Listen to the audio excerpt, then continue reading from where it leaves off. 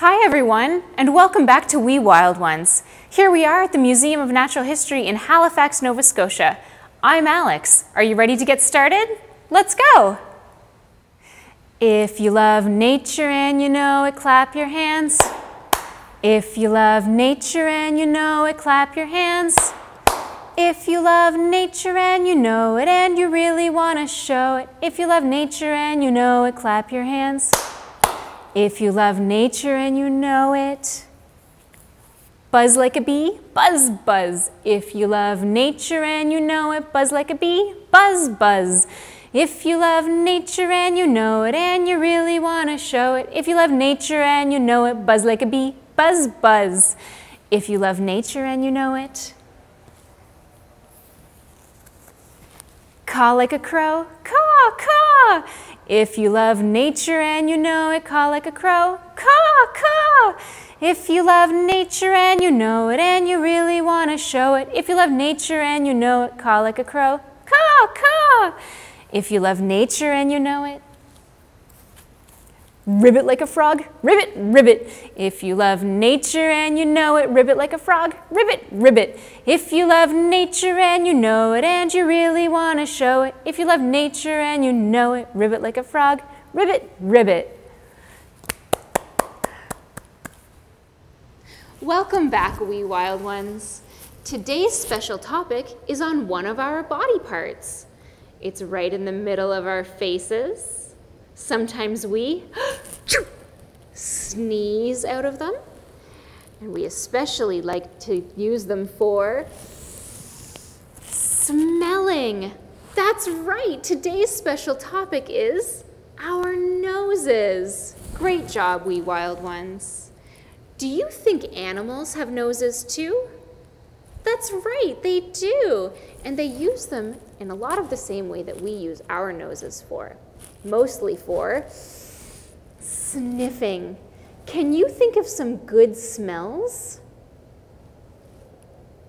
I like the smell of cookies baking and grass in the springtime. Smells can also tell us really important information too, like whether there's danger nearby. If you smelled smoke, that means you need to get a grown up for help. Can you think of some yucky smells? Garbage. I don't like the smell of garbage. Mm-mm. That can also tell us if something might be dangerous too. If there was some food that was rotten, it would smell bad and it might make our stomachs sick. Yeah. Animals use their noses like that too. I have some of my special puppet friends to help us learn a little bit about different types of animals' noses. Do you know what kind of animal this is? That's right, this is a seal. And seals have a nose right in the middle of their face. They use their noses to smell their food, like fresh fish.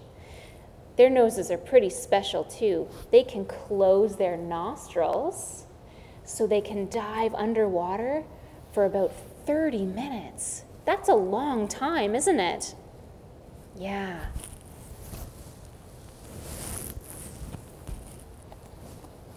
Do you know what kind of animal this is? That's right, this is a moose. Moose have a very long muzzle and their nose is at the end of their muzzle. They use their nose to smell if fruit is ripe, like apples. They can also close their nostrils to go swimming. Can you close your nostrils to go swimming? No.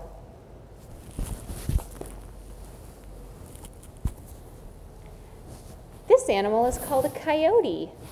They have a nose at the end of their snout. Their snout's pretty long, isn't it? They have lots and lots of receptors inside their nose so they can smell really far away.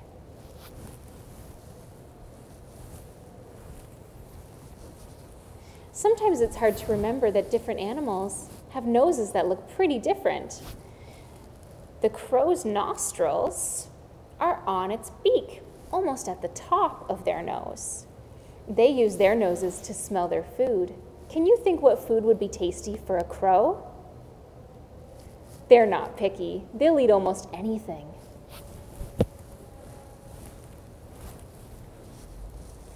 This is one of my favorite animals. This is called a bee.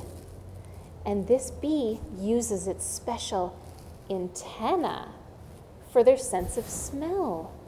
Pretty neat, huh? I think so too.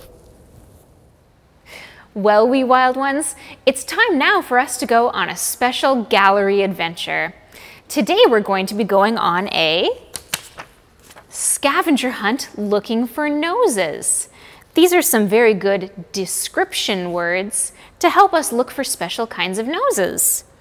A round nose, a flat nose, a tiny nose, a long nose, a pointy nose, and a smooth nose. I'm here at the museum's snake tank, and I think the snakes must have one of these noses. Let's see if we can see together.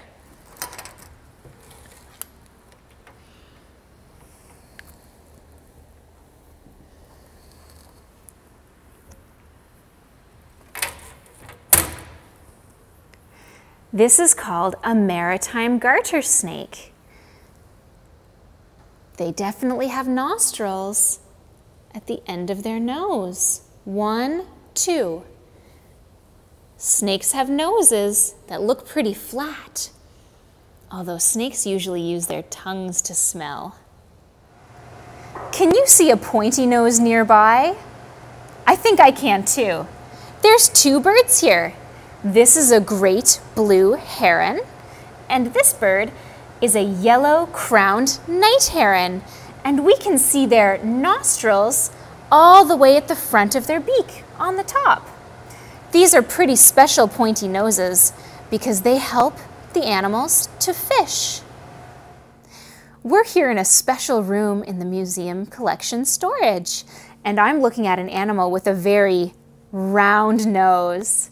This is called a raccoon, and he's getting ready to join the museum forest in a new exhibit. Can you see his round nose? Me too. We're looking for an animal with a smooth nose. Can you see an animal with a smooth nose? That's right. This animal is called a bullfrog. Bullfrogs have two nostrils at the front of their very smooth nose. Good job, wee wild ones. If you'd like to try the scavenger hunt at home, check our website at naturalhistory.novascotia.ca. Welcome to the Museum Library, wee wild ones. Today we're going to be reading a special story. This story is called Your Nose, a Wild Little Love Song by Sandra Boynton. Though I admire your angel eyes, there's something else I idolize. Your nose! Oh, whoa, whoa, whoa, your nose. It's got a magic I can't ignore. What can I say? I just adore. Your nose! Yes, indeed, your nose. It's the sweetest little thing. Oh, can't you see? No nose is like your nose to me. Boop. Well, everyone can find a way to happiness, I suppose. When I am sad, I stop and gaze at your amazing no whoa woes. I love your nose. Oh, whoa, whoa, whoa, your nose. You can tell everybody I told you so. It's the greatest little nose I know. Yes, everyone can find a way to happiness. So it goes. I'm happy when I see your face, and it's amazing no woe woes. Ah, choo! Bless you and your nose. Oh, whoa, whoa, whoa, your nose. It's the cutest little thing, and heaven knows, no nose is like your nose to me. One more time, your nose. Oh, whoa, whoa, whoa, Your nose, such an excellent nose. Boop. The end. All right, wee wild ones, it's time for us to go on a special adventure together. Have you ever seen a treasure chest before? Me neither. I'd like to make a special treasure chest with you and fill it with all of our favorite smells. I have my imaginary treasure chest. This is just an egg carton. You can use whatever you'd like. Maybe you have a basket or a special box you'd like to use. Anything that you can fill with your favorite smells. So here I am at the museum rock, and there's something on this bush. Do you know what that is? It's small, round, and the color blue. It's a blueberry, that's right. Can you think of how a blueberry smells? Ah, smells refreshing, tart, and sweet. Blueberries are one of my favorite smells. I'm gonna put it in my egg carton. Let's go. Here we are in the museum forest. Ah, how does the forest smell to you? Amazing. I love the smell of a forest, and I especially love the smell of fir needles. Did you know that smells can make you remember things? That's right. The smell of fir needles reminds me of a special time of year in the winter called the holidays. Pine needles smell fresh, earthy, crisp. Oh, one of my favorite smells. I'm going to add it to my smell treasure chest.